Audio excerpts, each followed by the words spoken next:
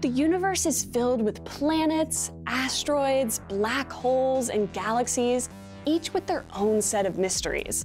But one of the best concealed aspects of deep space lies in what scientists describe as the dark universe. This is where dark energy and dark matter hide, interacting with the matter we can actually see. Scientists know very little about this dark side, other than that it's vast and it has shaped the evolution of our universe, past, present, and future. And since we can't see it directly, the hunt to understand dark energy and dark matter has taken decades. But ESA's Space Telescope mission named Euclid might just give us some answers. According to ESA, the universe is made of about 76% dark energy, about 20% dark matter, and 4% normal or baryonic matter, which is the stuff that makes up you, me, and everything else we can see. When it comes to dark matter, we can infer its presence based on the gravitational effect on visible matter. And theories suggest that weak interacting massive particles could lead to the answer. But as of right now, we just know that it exists. Dark energy is another astronomical head scratcher. This term is used to explain the mysterious force that causes the rapid expansion of the universe. According to the theory of relativity, the gravitational attraction from all the matter in the universe should be slowing this expansion. But observations show that instead, it's speeding up. In order to come to grips with this new realization, theorists have come up with other possible explanations for dark energy. Maybe the universe is filled with a strange energy fluid, or it's the result of another version of Einstein's theory of general relativity that involves an equation that stops expansion altogether.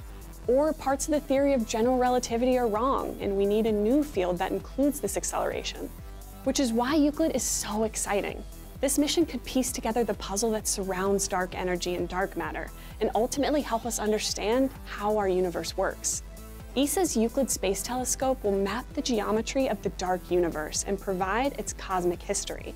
Euclid will observe and analyze the shape and redshift of thousands of millions of galaxies spanning back 10 billion years.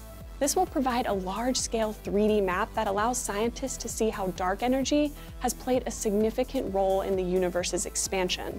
And it will do this with a few key components. Other than the silicon carbide mirror that spans 1.2 meters in diameter, the telescope will be feeding two different instruments, a visible wavelength camera and a near-infrared camera spectrometer. These instruments will be pointed at more than one-third of the entire sky. Now you might be thinking, if Euclid can't directly observe the dark universe, then what will its instruments be looking at? Well, the Space Telescope will be searching for a couple of cosmological red flags. The first is weak gravitational lensing. In general, gravitational lensing is when the gravitational field of an object bends the light that passes by it. So if we assume that dark matter is present, then astrophysicists can theorize that every galaxy we observe might be subject to a minute amount of gravitational lensing, approximately 1%. This is the weak lensing, and it's what Euclid will be hunting for.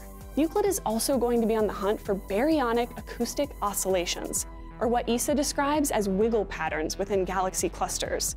These patterns provide a standard ruler method for measuring dark energy with the expansion rate of the universe. Euclid's potential is overwhelming, but we've got a little wait on our hands before this space telescope starts beaming back any astronomical info.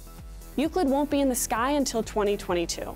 It's being assembled by Thales Alenia Space, Astrium Toulouse, and Airbus Defence and Space. Not only is this equipment coming together for the assembly of Euclid, but researchers are already preparing for the massive onset of data that will be coming their way. Using a dark matter particle simulation modeled with a supercomputer, researchers created the largest simulated galaxy catalog ever made. These synthetic galaxies mimic the characteristics of real galaxies, including their shapes, colors, luminosities, spectra, and gravitational lensing distortions. This is a critical milestone in the Euclid project, and everything the researchers are preparing for will help set the foundational science for when the real data comes in. Euclid plans to station for six years, and when it finally takes to the skies, we'll all be patiently waiting for the confirmation about parts of the dark universe we already know and all the parts we have yet to uncover.